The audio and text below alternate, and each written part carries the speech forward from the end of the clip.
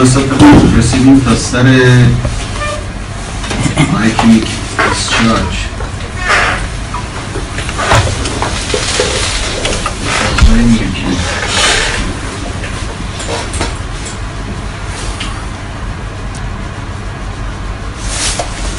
مایوکیمیا همونطور که می‌دونید از نظر تعریفی میگه که شبیه حرکات چیه؟ حرکات کرمی شکل میگه که چند کرم آدم بذاره تو کیسه همینطور نگاه بکنه تو کیسه این حرکات کرم رو میگه مایوکیمیا غذا رو می‌بینید شبیه حرکات سری حرکات خیلی ظریفی حتما تا حالا دیدید مریضاشون مریضایی که دچار فشیال مایوکیمیا مثلا هستن. و از نظر الکتریکی از نظر تعریف EMG ش شامل یه سری در واقع MUAP های ریتمیک گروهی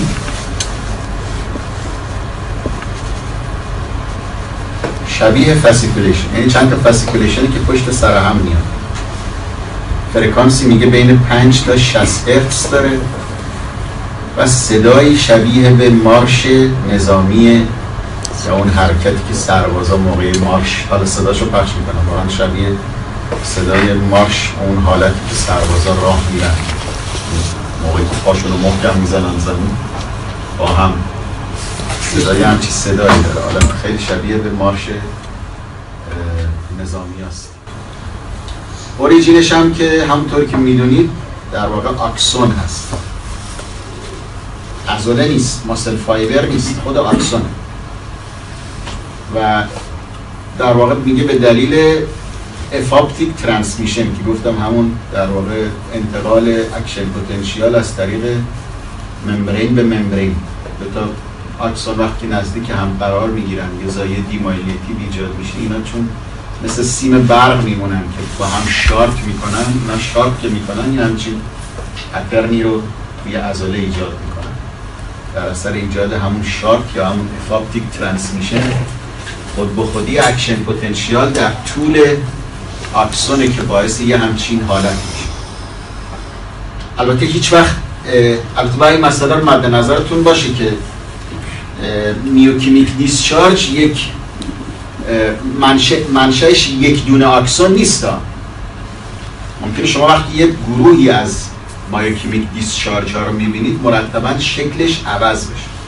که این نشون میده. هر بار مثلا منشأش از یک motor unit از یک motor unit یا یک اکسون بوده. بنابراین از نظر شکل با هم ممکنه کاملا متفاوت باشن. اگرچه می‌تونه منشأش یه دونه اکسون هم باشه و شکلها همه شبیه به هم باشن. ولی بر وقتی چند تا اکسون نزدیک هم قرار گرفتن و این action potential در یک شون ایجاد میشه و به دیگران هم منتقل میشه خود به خود یه چند تا اکسون با هم دیگه که تحریک میشن یه چند تا action potential با شکلهای مختلف ممکنه شما در طول یک myokymic discharge ببینید که اینجا pattern های مختلفش رو نشون داده توی این شکل بالایی و توی شکل پایینی هم باز می‌بینید.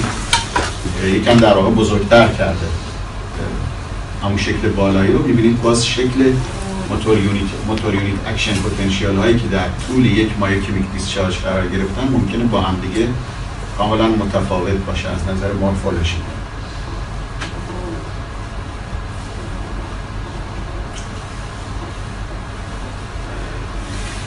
از نظر شکل و از نظر مورفولوژی میگه شبیه به سیاردیه اما اولا خیلی کوتاهتر از معمولا سیاردی از نظر زمانی خیلی کوتاست ولی عین زمان عین سیاردی یه دفعه ظاهر میشه یه دفعه نه محو میشه. یه دفعه ظاهر میشه یه دفعه محو میشه.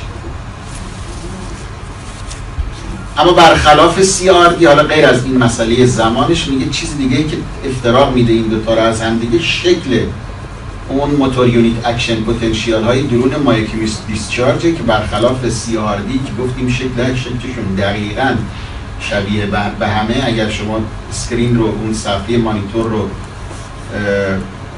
اصطلاح فریزش کنید نگهش دارید نگاه بکنید ببینید توی CRD دقیقا تمام این شکلایی که میاد تمام این motor unit action potential که میاد عین هم هیچ فرقی نمی‌کنن ولی توی توی myokymic discharge ی همچی حالتی رو میگه شما نمی‌بینید. pattern ا معمولا با هم متفاوته. motor unit action potential ها متفاوته صداش کاملا از صدای CRD متفاوته. حالا صدا رو پخش می‌کنیم هم مقایسش می‌کنیم با CRD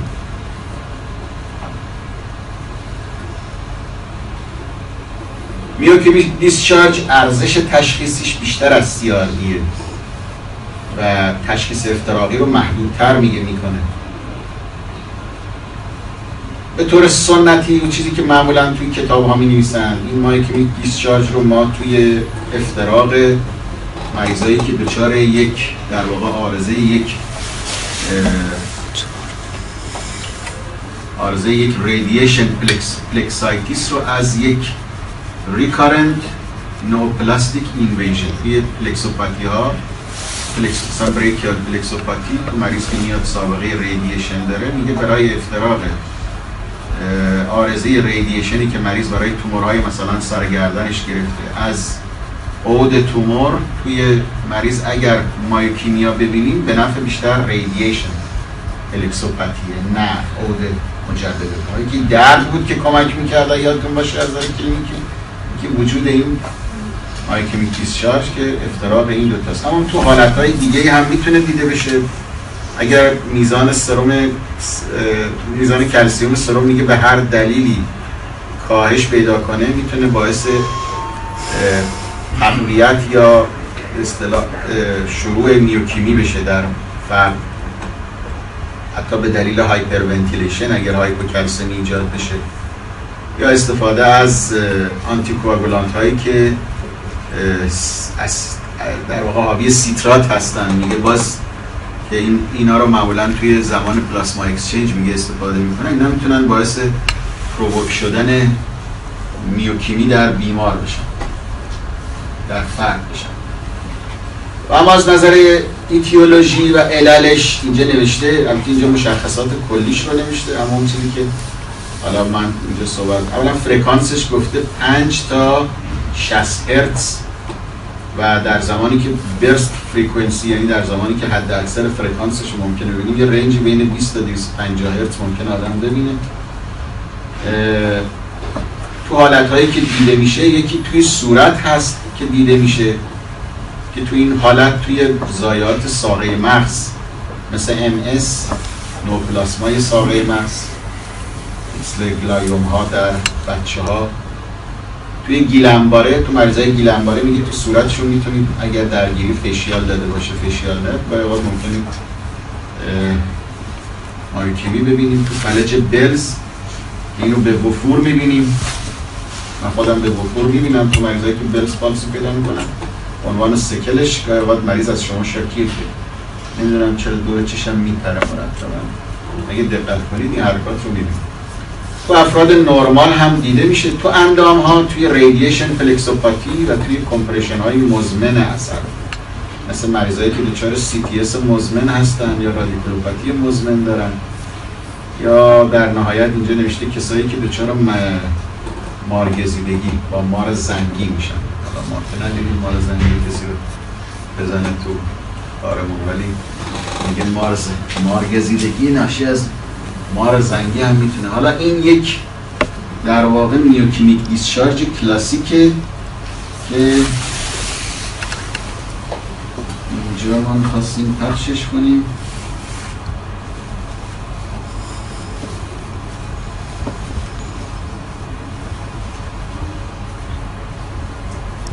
صدا گوش کنیم صدا نمیاد آجی. ببین جریانش چیه.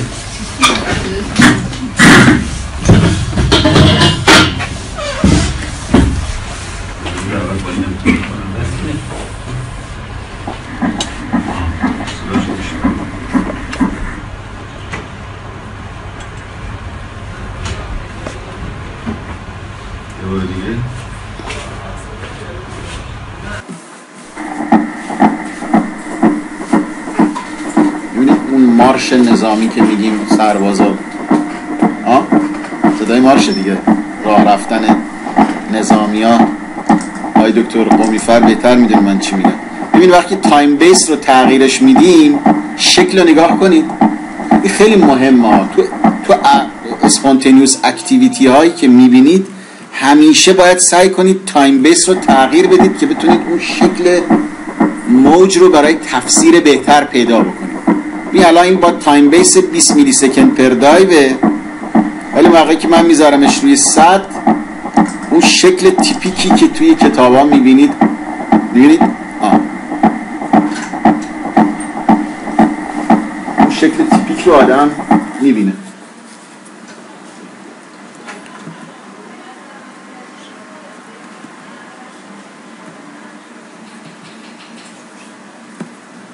اولی رو من فکر کنم نشون ندادم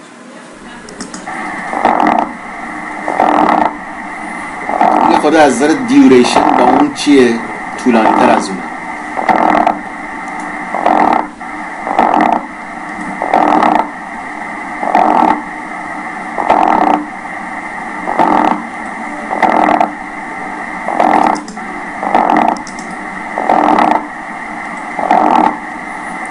من سرعت رو کم می‌کنم ببینید پترنی که به دست میاد. حالا اون شکل تیپیک یک مایوکیمی رو نشون میده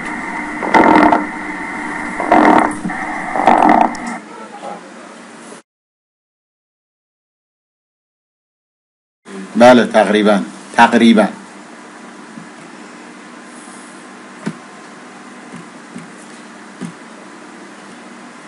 و این باز یه دونه مثال دیگه از مثال های مختلف رو من نشون میدم چون حالت های مختلف باید ببینید که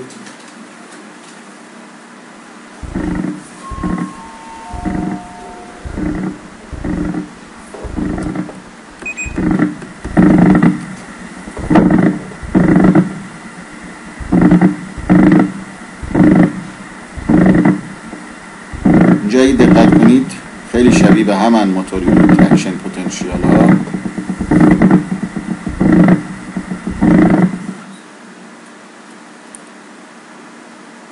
time base رو تغییر میده.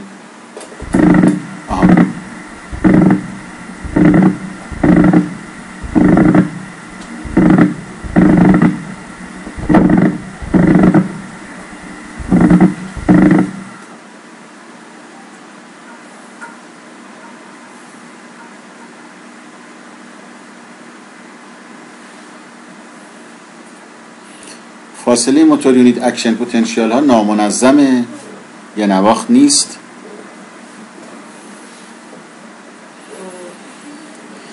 خب. و یکی دیگه باشه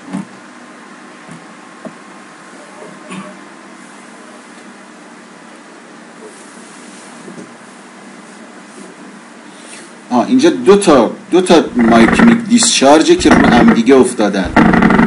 یعنی دو گروه myokymic discharge ببینید myokymic discharge دومی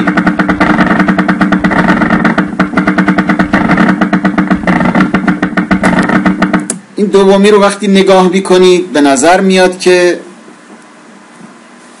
به نظر میاد که یک motor unit action potential polyphasic ه صداش هم خیلی شبیه یک motor unit action potential polyphasic ه می‌تونه بر چون هر دو منشأ motor unit دارن دیگه. هر دو می‌تونن یا دو می‌تونن شبیه به هم بشن. تا اینجا فرقش با اون در واقع یک motor unit action potential polyphasic چیه؟ اینی که این خود به خودیه. ما تعریفمون اصلا از اساس صحبتمون بر مبنای spontaneous activity اینجا spontaneous خودش می خودش در ظاهر میشه. بنابراین نمی‌تونه یک motor unit action potential polyphasic باشه. شبیه به یک motor unit action potential polyphasic ه اما در واقع یک دشارژ myokymic ه یا در واقع این تو این شکل تو این تو این ویدیو دو تا myokymic discharge می‌بینید که با هم دیگه ظاهر میشن و شکلشون هم کاملا با هم متفاوته ولی بر حسب اتفاق این دوتا نزدیک به همن. حالا یه بار دیگه من پخششون می‌کنم.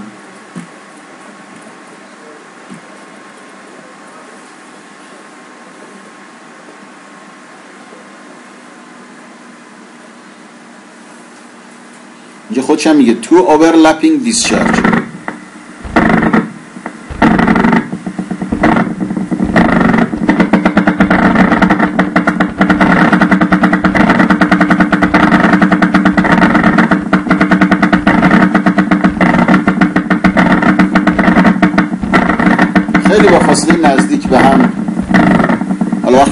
بیس رو تغییر بده شکل رو که نگاه بکنید متوجه میشید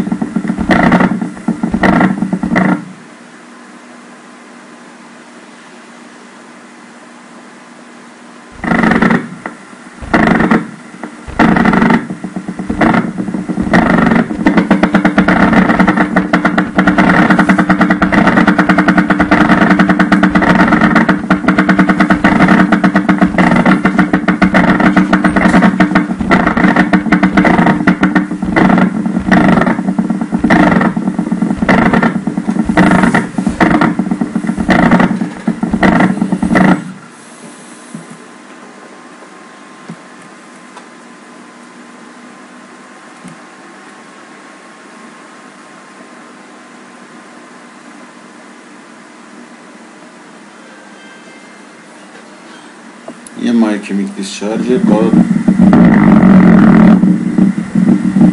با زمان طولانی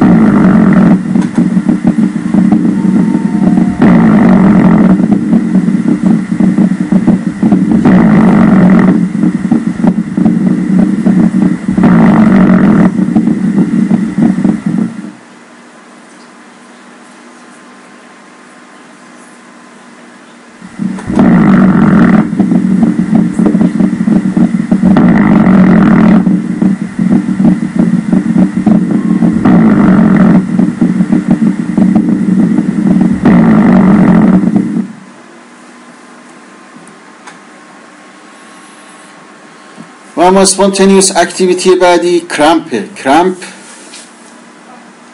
همونطور که می‌دونید تعریفش باز منشأش در واقع axon هست. باز منشأش motor axon ها هستن که از نظر تعریفی هم عبارت هست. هست میگه sustained and painful muscle contraction. انقباض مداوم و دردناک عضله. پس همراه با درد کرامپ معمولا. که چند ثانیه تا چند دقیقه می‌تونه به طول بکشه و هم می‌تونه در افراد نرمال دیده بشه هم می‌تونه در بعضی از بیماری ها دیده بشه. که حالا عللش رو میگیم. از نظر frequency جزء high frequency ها هستن فرکانس خیلی بالایی دارن تا حد 250 هرتز هم ممکنه گاهی اوقات 200 تا 250 هرتز هم برسه فرکانس کرامپ عللی که می‌تونن باعث کرامپ بشن hyponatremia، hypocalcemia، vitamin deficiency، ایسکمی، early motor neuron disease و peripheral neuropathy. من خودم یه مریض داشتم دچار hypothyroid ی بود. اینجا تو این لیست من نمی‌بینم تو لیست کتاب. یه مریضی بود که اومد با کرامپ و بعد بررسیش که کردم دیدم hypothyroid ی شدید داره. کرامپ های عضلانی داشت دردای شدید تو ام جیش هم که می‌کردی یک اصلا کرامپاش قطع نمی‌شد. یعنی مرتبا تکرار می‌شد. وقتی که ازش می‌خواستم مثلا دستش رو مشت کنه یا پاش رو انقباز می‌کرد و می‌گفت می‌گفتم شل کنی کرامپ همینطور ادامه داشت مرتبا. اگه نیدل رو میگه توی عضله قرار بدیم در واقع یک MUAP با فرکانس 40 تا 70 هرتز و گاهی اوقات تا گفته 200 هرتز یا بعضی وقتا تو تو بعضی از رفرانس ها تا 250 هرتز هم گفته. کرامپی که بدون فعالیت الکتریکی باشه یعنی silent cramp می‌دونید از مشخصه چیه؟ مریض که میاد با شکایت کرامپ اما موقعی که شما needle رو می‌زنید تو عضله می‌بینید عضله کاملا بدون فعالیت. کرامپ بدون فعالیت مشخصه بیماری مک آردل طور که می‌دونید. این یه پترن از نظر شکل یه پترن کرامپه که اون ابتدای شکل اگه نگاه بکنید مریض انقباز ارادی انجام داده و بعد ازش خواسته شده عضلش رو شل کنه. اما همونطور که می‌بینید بعد از اینکه شل کرده باز یه سری واحدهای حرکتی روی صفحه ظاهر شدن که این همین واحدهای حرکتی نشون دهنده در واقع وجود کرامپ در بیمارن. مثلا همونطور که گفتم منشش motor axon از نظر شکل شبیه یک motor unit action پتانسیل منشه عضلانی نداره کرامپ. باز منشه اکسونال اکسون عصب داره. این یه شکل typic در واقع مریضیه که دچار کرامپه که می‌بینید ابتدای شکل ابتدای تراسه مریض کنترکشن ارادی انجام میده. بعد از کنترل کنه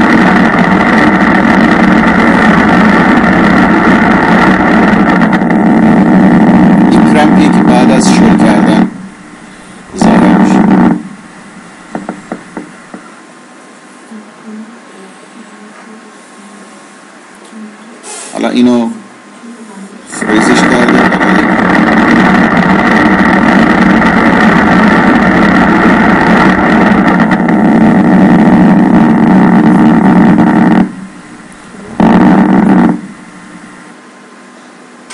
در واقع شکل یک پیک یک کرامپ بود که دیدیم اون مریض که من داشتم واقعا کرامپش اصلا قطع نمی‌شد همینطور ادامه داشت. مرتبا.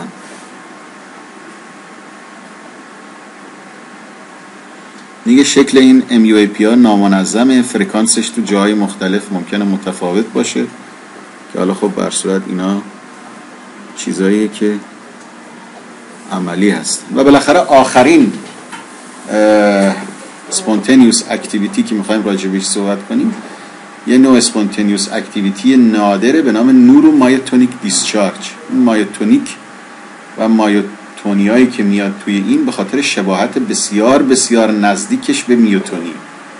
هم از نظر صدا هم از نظر شکل خیلی شبیه به میوتونیه. اما یه تفاوت هایی داره که اگه حالا دقت کنید متوجه اولا فرکانسش این خیلی بیشتر از میوتونیه. میوتونی یادتون باشه حد اکثر فرکانسش هلوش 100 هرتز بود.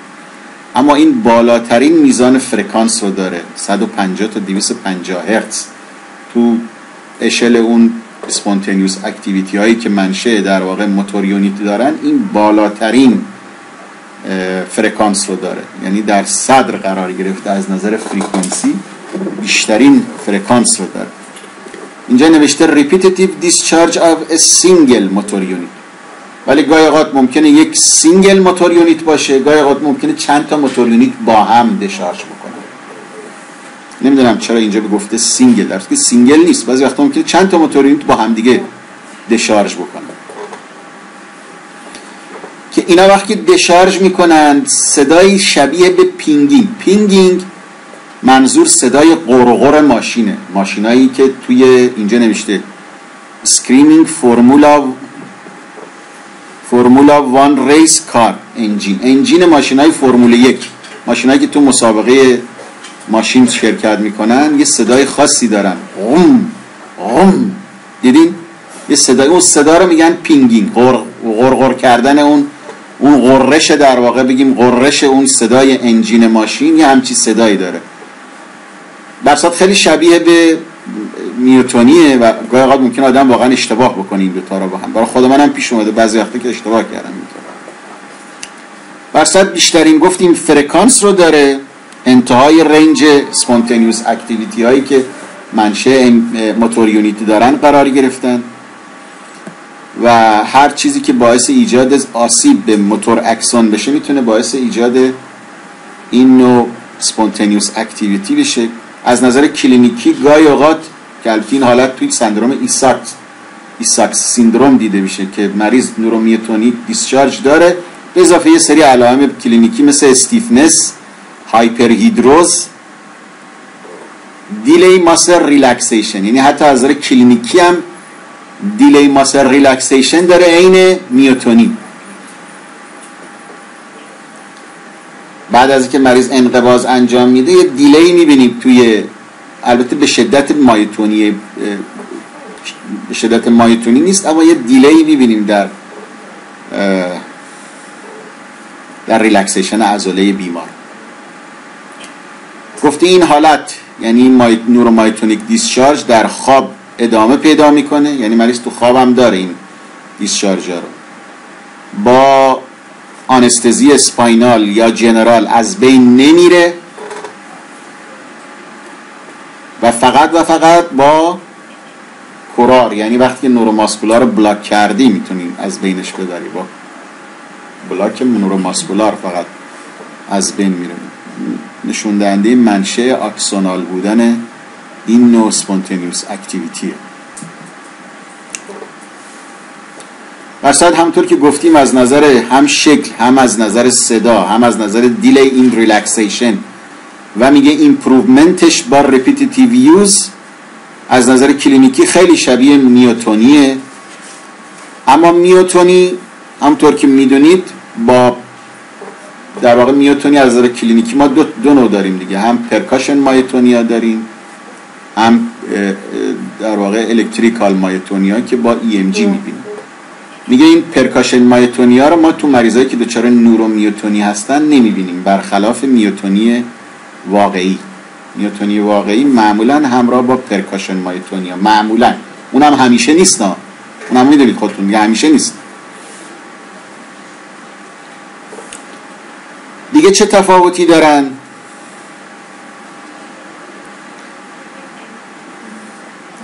میگه از نظر شکل باز تفاوت می‌کنن. همونطور که می‌دونید مایتونیا منشه ماسل فایبر داره. ولی نورومایتونیا منشه چی داره؟ منشه motor axon داره. یعنی در واقع منشه motor unit داره. و از این نظر با هم فرق می‌کنن.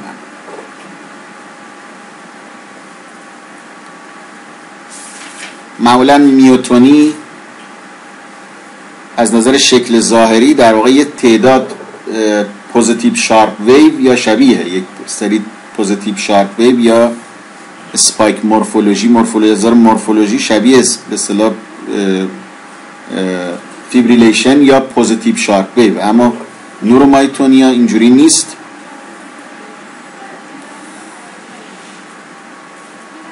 شبیه میگه fasciculation هایی است که پشت سر هم در واقع میاد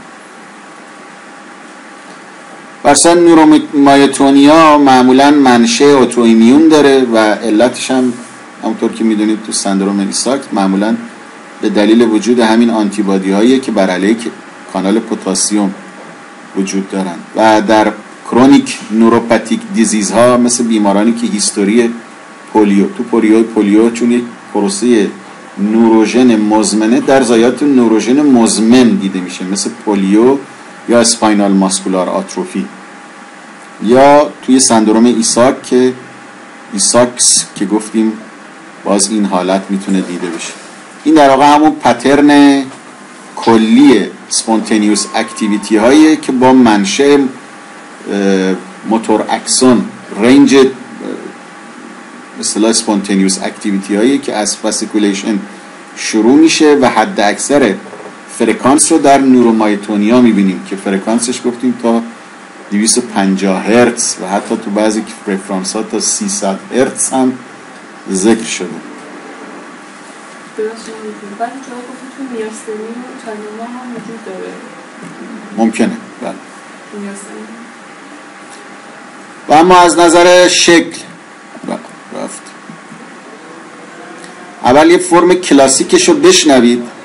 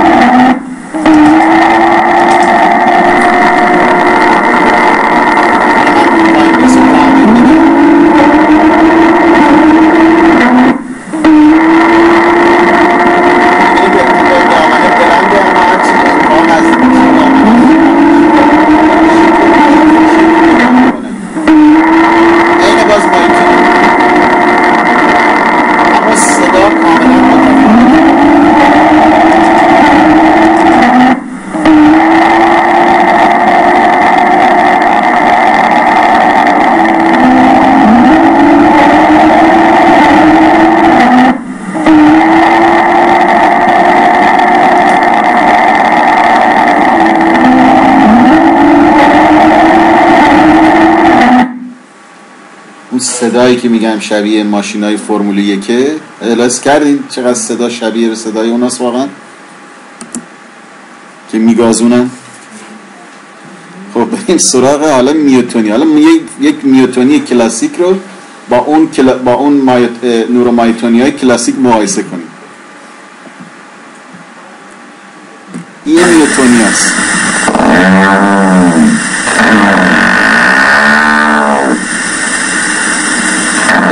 خیلی کمتره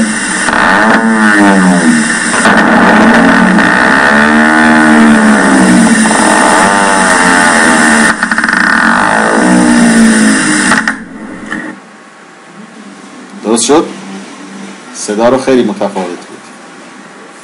اگرچه اینم صدای میگه انجین ماشینه مثل صدای انجین ماشین هم خیلی صدا تفاوت می‌کنه. صدای اون صدای اون با این خیلی متفاوت. و اما باز یک نورومایتونی که یک نورومایتونی های بریف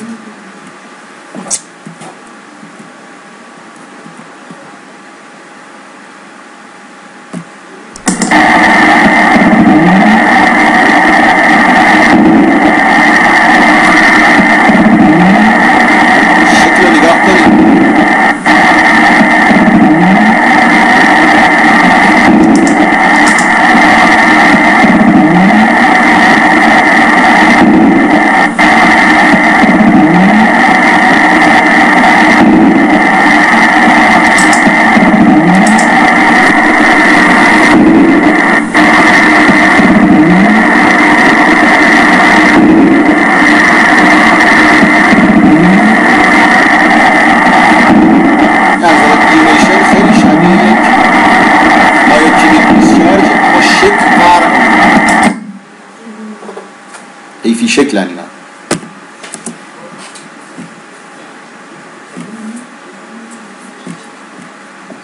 یه بار دیگه یکی دیگه شکلهای مختلف و pattern های مختلف رو من نشون میدم.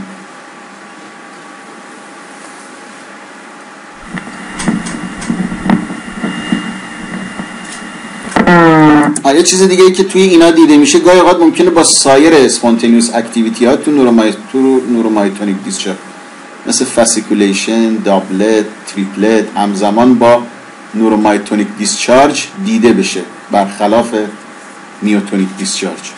یه بار دیگه پخشش می‌کنم. دقت کنید. مثل این حالت.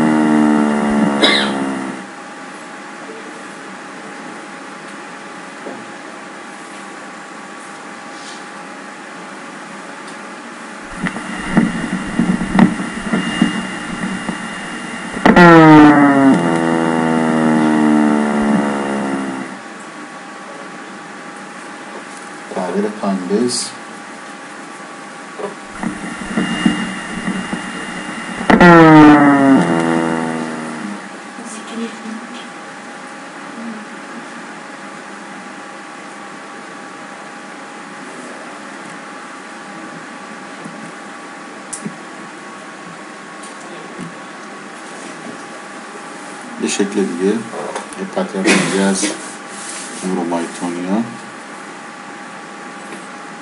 مالتیپل دیسچارج. یعنی چند نورومایتونیا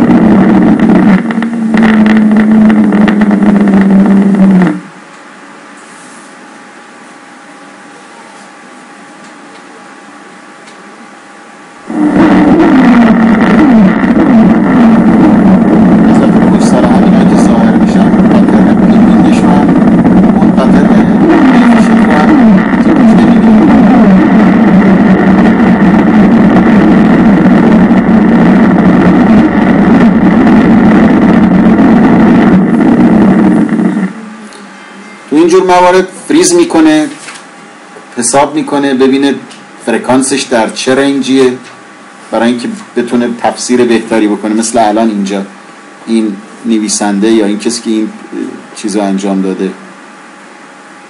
فرکانسش رو دقیقا محاسبه می‌کنه ببینه چنده برای تفسیر بهتر. چون واقعا بعضی وقتا میگم افتراقشون از رومایتونی با میوتونی خیلی اشتباه ممکنه بشه سخت میشه و اما می‌رسیم به قسمت سوال و جواب. حالا من میگم شما بگید. من می‌پرسم شما بگید. خوب گوش بدید.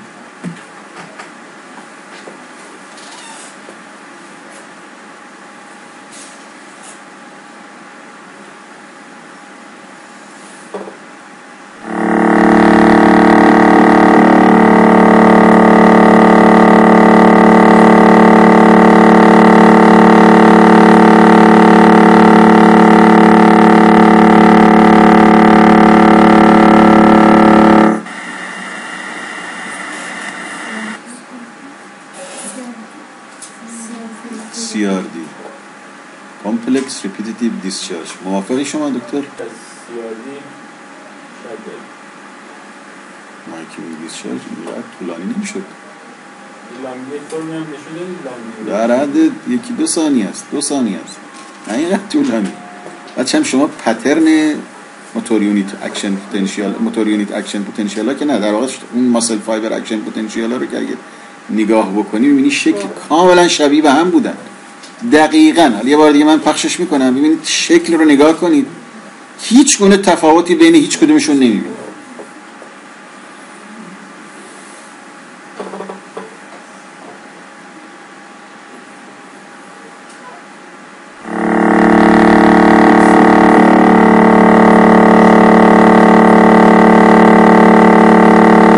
پتر کاملا شبیه به هم هیچ گونه تفاوتی درشون نمی‌بینید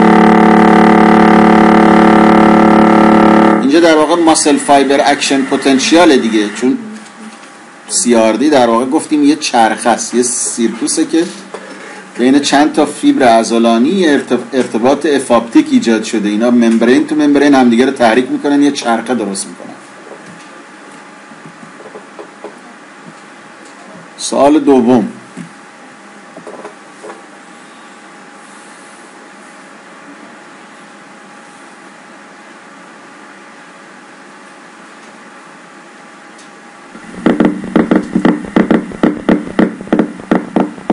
اینا رو من قبلا هم براتون پخش کردم بعضیاشون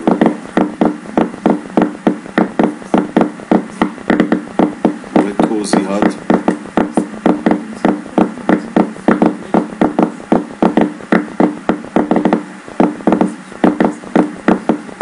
یه چیه؟ یه دابلت یا بعضی اوقات هم ممکنه تریپلت هم بشه. یعنی سه تا بزنه به جای دو تا. ولی خب به طور مشخص بیشتر دابلت بود.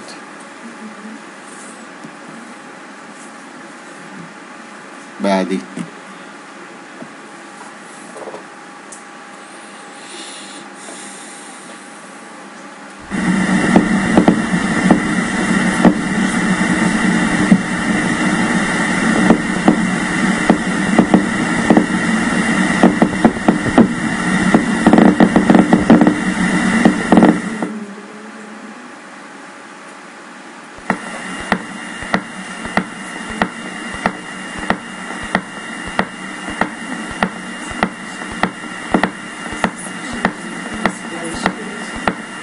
Articulation.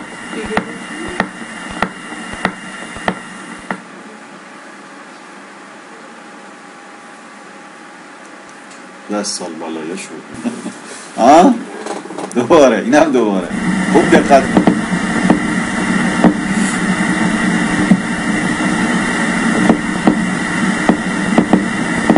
خیلی مشخصه. تعجب می‌کنم چرا شک می‌کنید. صدا رو گوش بدید.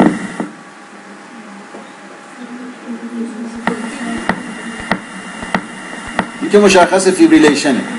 کاملا مشخصه. کاملا منظم. شروع موج منفی. مثلا می‌خوام شروع موج positive میاد پایین. میگم منفی. شروع موج positive بود.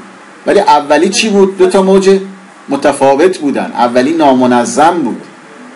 شبیه fibrillation بود شبیه دومی. اما کاملا متفاوت بود با اولی. یه بار دیگه نگاه بکنید.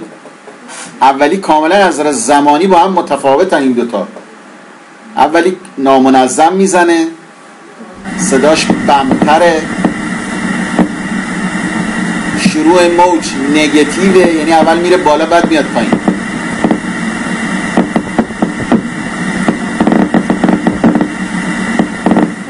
end plate spike ه ابتداش. end plate spike ه خواستم مقایسه کنید با fibrillation حواستون باشه. این کلاس ها رو حالا من میندازم. بعدا روی چیز نگاش کنید. خوب بخونیدشون. خوب حواستون باشه. چیزای پیش پا افتاده رو اشتباه نکنید. سوال بعدی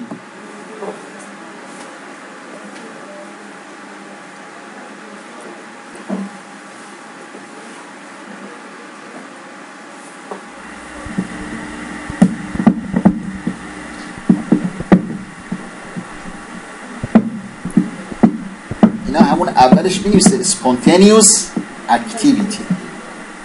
وقتی میگه اسپانتینیوس پس باید تو اسپانتینیوس ها بگردی ببینی کدومش به این می‌خوره.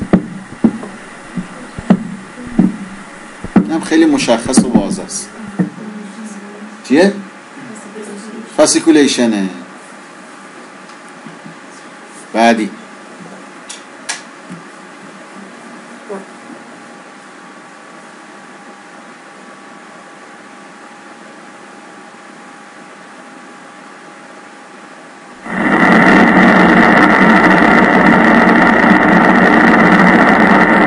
spontaneous activity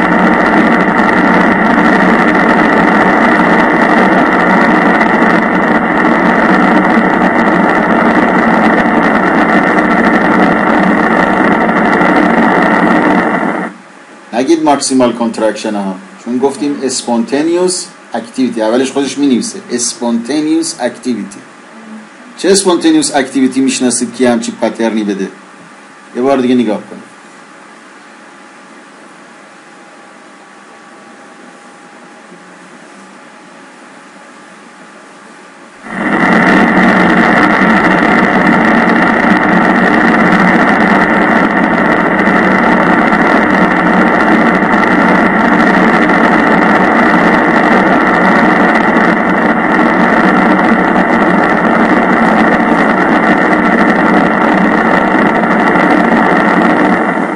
ثابته اصلا قطع نمیشه. همینطور ادامه داره. مرتب. چی؟ کرام. نه.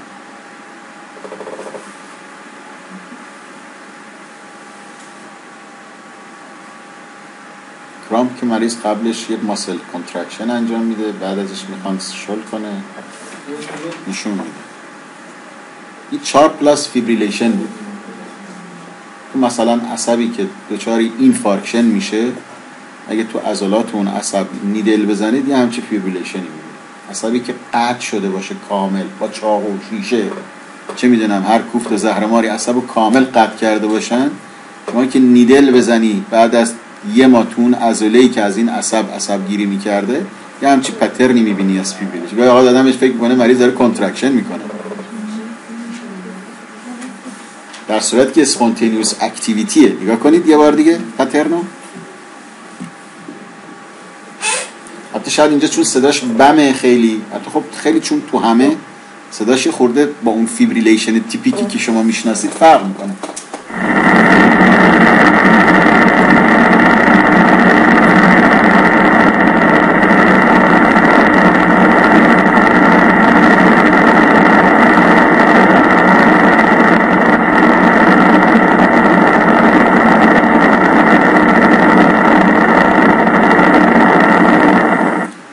پیش اومده. یعنی واقعا فکر کردم مریض داره contraction می‌کنه.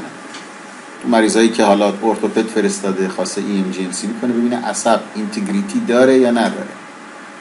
عصب وصله یا نه. تو needle که می‌زنی می‌بینی یه همچی pattern ی گاهی ظاهر میشه. این تو موارد آسیب شدید عصب دیده میشه. حالا ناشی از واسکولیت مثلا یه infarction عصب اتفاق افتاده باشه. یا با یه جسم نکتیز کامل زده باشن عصب رو قطع کرده باشن. مثلا مدیانو که قطع می‌کنن بزنی تو عضله ابدکتور پولیسیس بریویس یه همچی پترنی می‌بینی.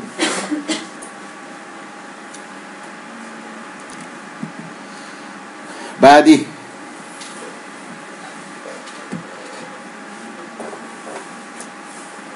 باز spontaneous activity.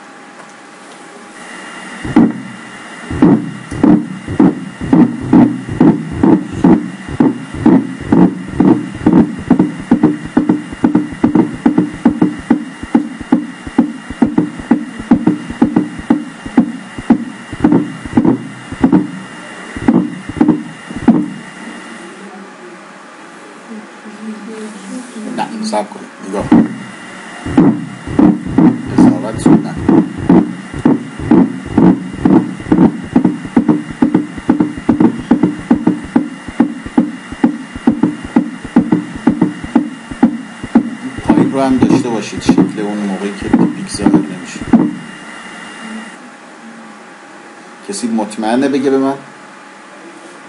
یا یه بار دیگه پخشش کنم. دوباره؟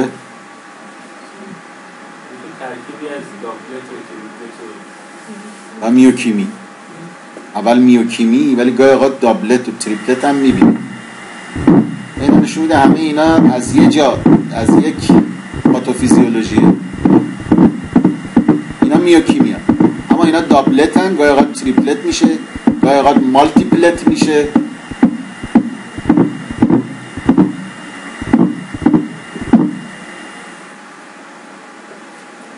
متوجه این گاهی اوقات مالتیپلت میشه گاهی اوقات دابلته گاهی اوقات تریپلته گاهی اوقات میوکیمیه اینا میوکیمی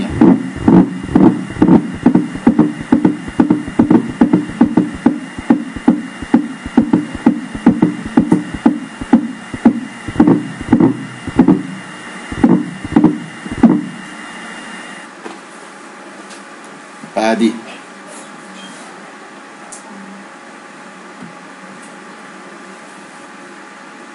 باز spontaneous activity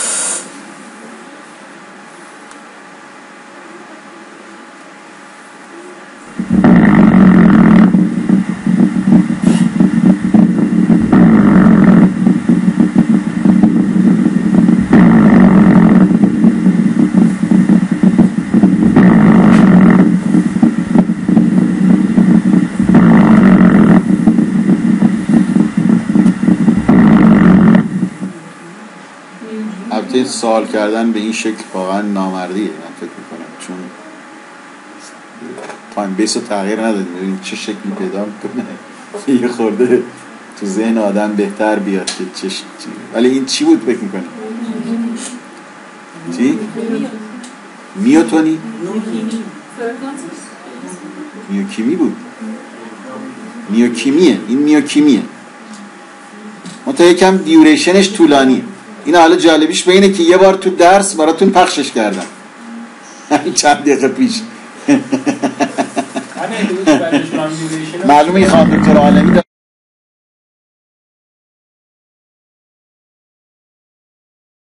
این همونی بود که تو ابتدای درس من پخش کردم. حالا دوباره از اون سوال کردم. توش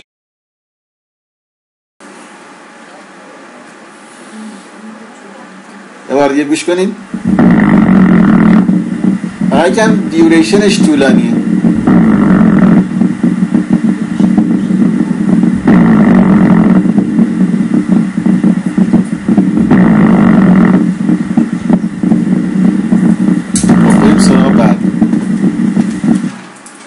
خب بعدی باشه ها بعدی هم هست. Spontaneous activity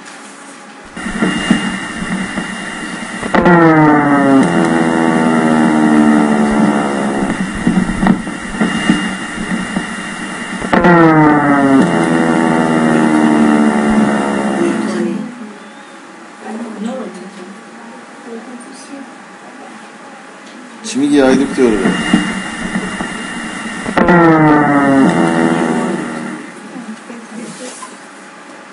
نورومیوتونی هست میگم خیلی شبیه میوتونی واقعا ولی صداش صدای فرمول یکه. صدا خیلی به آدم کمک می‌کنه. خیلی صدا به آدم کمک می‌کنه. اگه آدم صداها رو بشناسه تموم شد درس ما. راجع به spontaneous activity ها. در صورت